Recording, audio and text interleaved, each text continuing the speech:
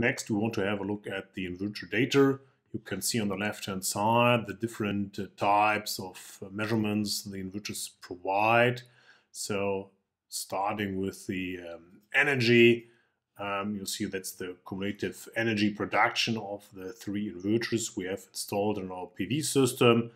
Um, the first inverter in green, uh, the number one, has a capacity of 7.4 kilowatt peak, and uh, inverter number two and three in, in, yellow and the blue curve have a capacity of 19.1 kilowatt peak.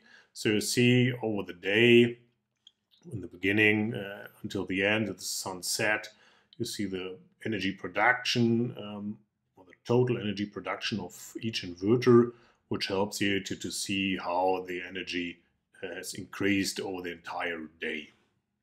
Normalized energy production is a very important diagram which can be used uh, to analyze the uh, energy production of the different inverters.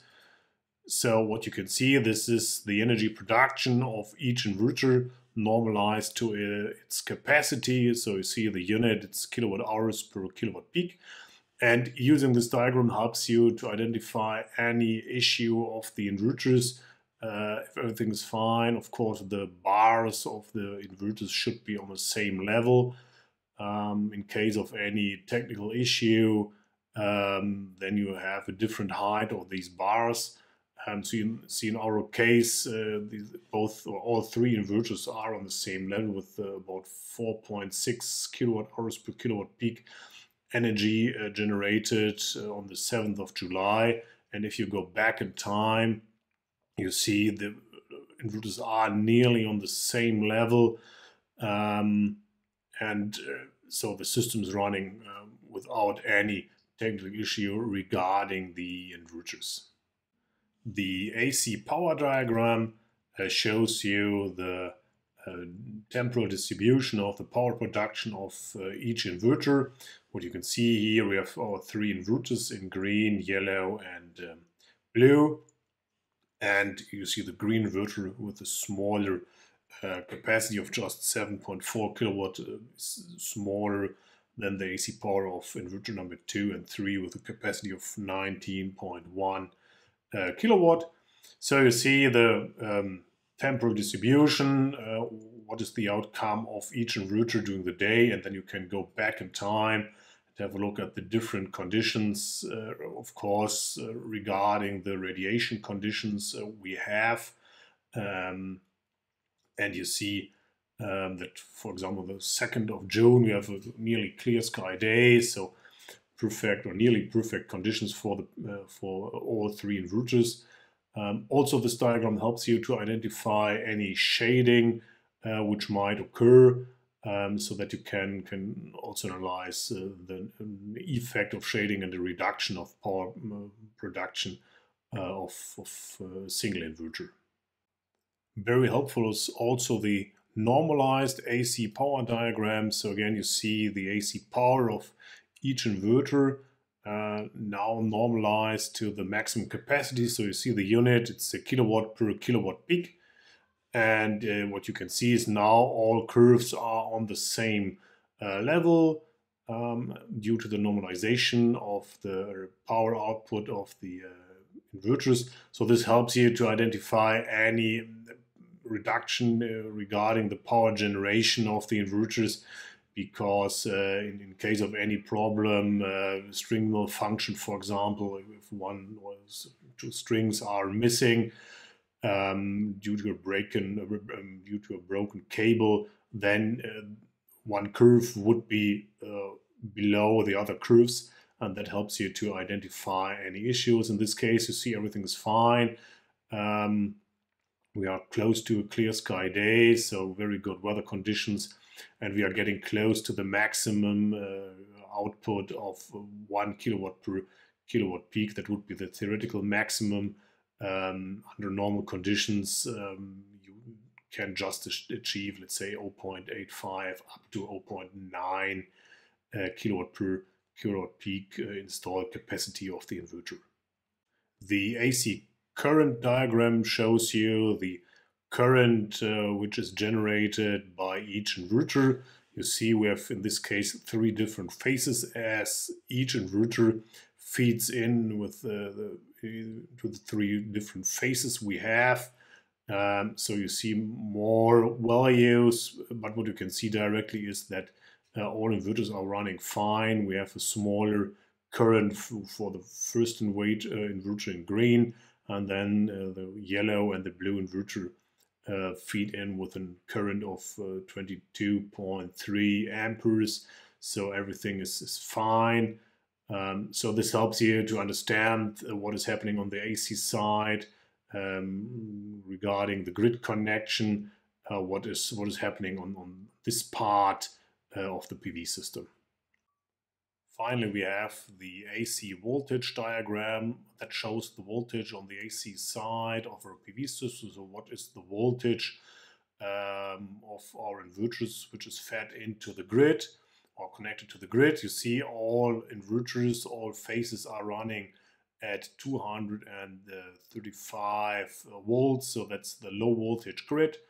Um, so they are on the same level. There's no issue regarding the grid everything's fine. So this, this diagram helps you also to identify any uh, problems regarding the um, AC part and if there's any technical problem regarding uh, feeding the electricity in to the grid.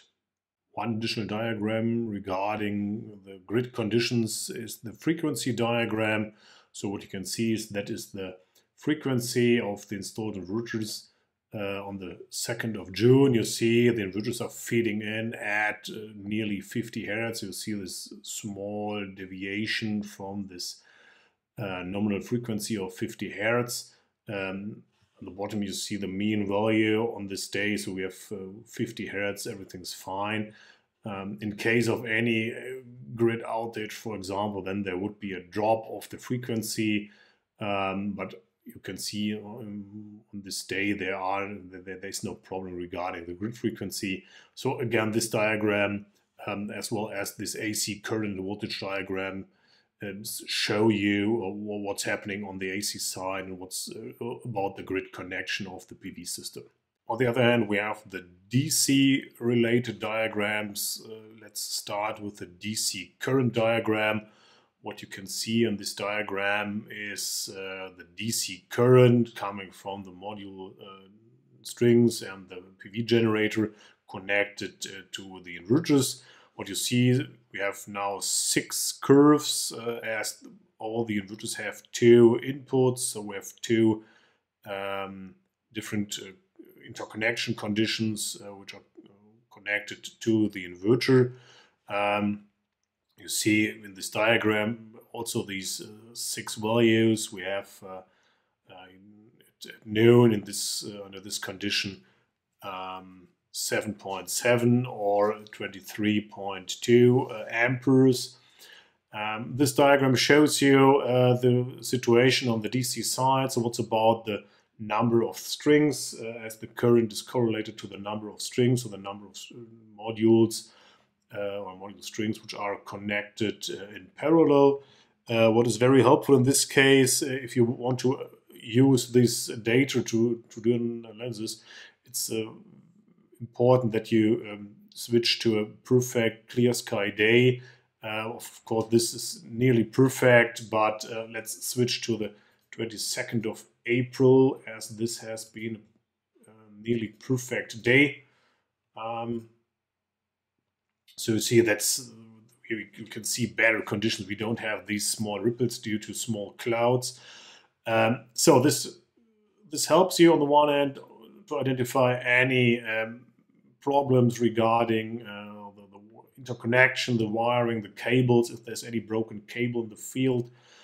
Um, and of course, what you can also do is you can derive the number of strings which are interconnected uh, in parallel as uh, the number of uh, strings in parallel are correlated to this uh, to this current. so what you can do is now um, try to identify, uh, calculate the number of strings which are in, interconnected in, um, in, in parallel. Uh, what you need is, of course, the information what are the modules we have. So let's just have a quick look at the technical uh, data. What you see is we have this IBC Solar Polysol 230 MS uh, modules. So um, you need the data sheet of these modules. What is the MPP voltage, the MPP current of these uh, modules? And what you also need is, of course, uh, the, the, UOC and ISC current and voltage. And then you can use these values and try to figure out what is the number of module strings which are interconnected in parallel. So quickly take a break, um, pause this video and try to use these values you can see in this video to, to calculate the number of uh, strings which are interconnected in parallel. So what you can see is if you have a look at the data sheets of these uh, IBC Polysol uh, 230 uh, MS modules is that the uh, IMPP is uh, 7.78 amperes. So what you can directly see is that these curves here at the bottom with the current at uh, let's say 7.6 amperes that correlates to one module string. And then uh, the string number one of inverter number two and string number one of inverter number three with a current of about 22 amperes that uh, corresponds to three strings which are interconnected uh, in parallel as uh, 22 um, divided by 3 gives us the IMPP uh, of the uh, of the modules. And if you have a look at the technical data, um, so what's about the system configuration? What we can see is everything is fine. You see in inverter number one, we have two uh, inputs, one string uh, input A and one string connected to input B. Everything's fine. And you see in inverter number two and in inverter number three, uh, we have these uh, parallel connected three at input number one and one uh, string connected to input number B. So um, everything's fine. The interconnection corresponds to uh, the measurements. So that's very helpful to, to check the interconnection of uh, the PV system as the current values give you information about the uh, interconnection in parallel and uh, you can derive any deviations from the documentation um, or the technical configuration which is given um, by the EPC. Um, so that's a very helpful diagram to do an analysis of the uh, interconnection of uh, the PV system. The normalized DC current diagram shows you similar situation. In this case, the uh, current of the module strings is normalized to its IMPP. So in this case, of course, if the technical configuration is correct uh, in this monitoring system, all curves should be uh, on one level and you see that's uh, working very fine. You see this small deviation of inverter number uh, one, number two, the yellow one. Um, but uh, overall there's the, all curves are on the same level so that shows you that uh, the technical configuration of the system uh, is correct and the normalization gives you the correct values. The next important diagram on the DC side is the DC voltage diagram. So what you can see is that's the DC voltage of all three inverters Again, we have the two strings, uh, so the two inputs, uh, two MPP trackers of each inverter. So that's the reason why we got uh, six uh, curves. What you can see is this typical slope of the curve, of the DC curve, with a higher voltage in the morning, then a decrease uh, near noon and early afternoon, and then the increase of the voltage in, in, in the evening. So you can think about why this is a typical slope of uh, this um, uh, DC voltage curve. Um, why this is happening under uh, clear sky weather conditions.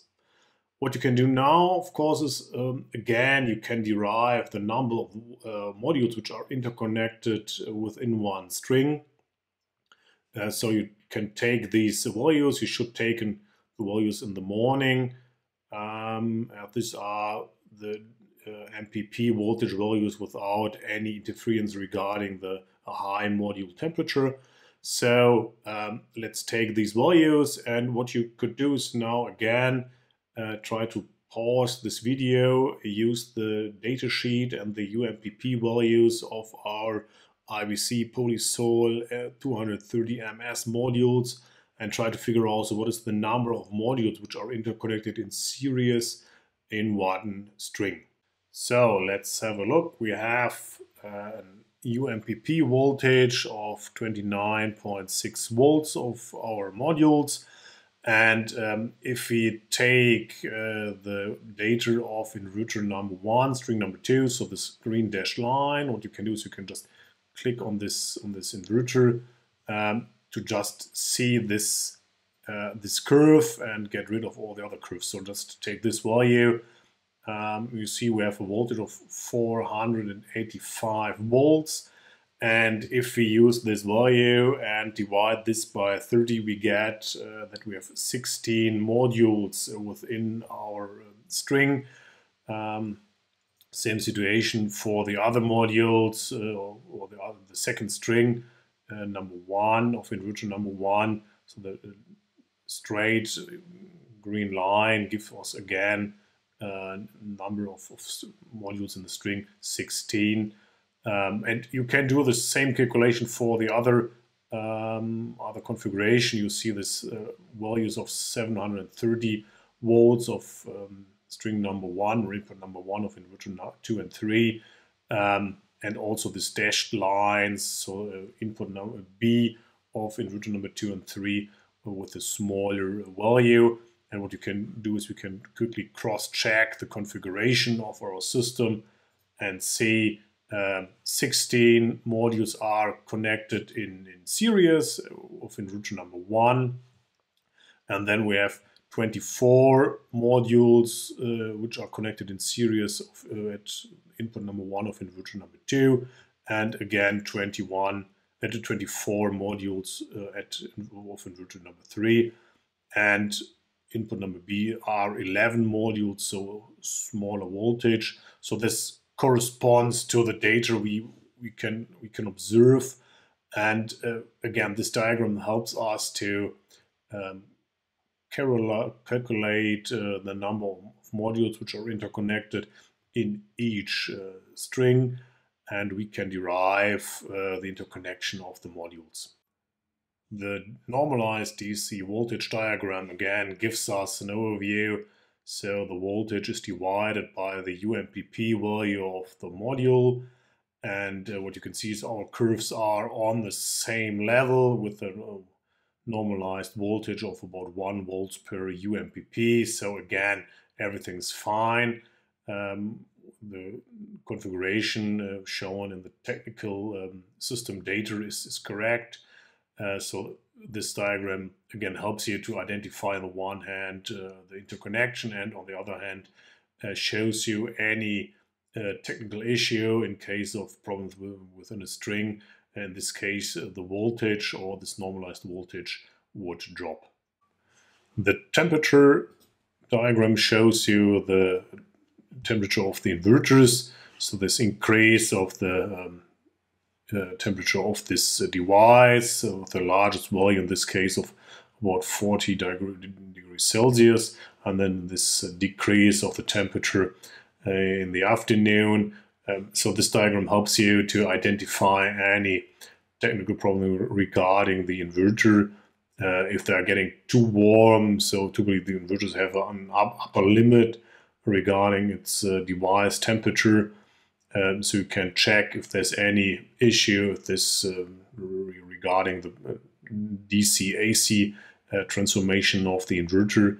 Um, as the, if the temperature is too large, there might be an issue regarding the, the, the, connected DC power, for example. So this diagram helps you um, also to identify technical issues regarding the inverter.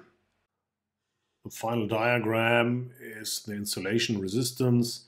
So in case of any broken cable, the inverters are checking and measuring always uh, the insulation resistance.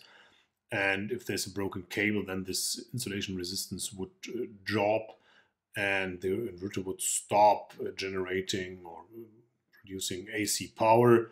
Um, so that diagram helps you again to um, do a detailed analysis of any malfunction um, if you if you were able to identify the technical problem in case of a broken cable, for example.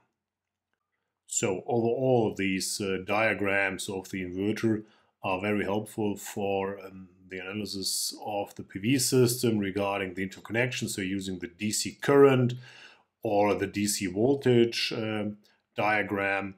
Um, the AC voltage, AC current diagram helps you to identify problems regarding the inverters itself. Um, so particularly the AC power, normalized power, or the normalized energy diagram shows you any any problems. Um, what you can also do is, of course, uh, regarding the function analysis, is that you um, step over to a monthly view. Uh, then you see, um, in this case again, the inverters are on the same level, uh, more or less. You see smaller values due to bad uh, conditions uh, regarding the weather. So you see everything is fine. The inverters are on the same level. And this, this helps you very much to, to identify any problems if the inverters deviate uh, from the expected yield production. And uh, that gives you a very deep look um, into the PV system and helps you to go very deep into the analysis of the malfunctions.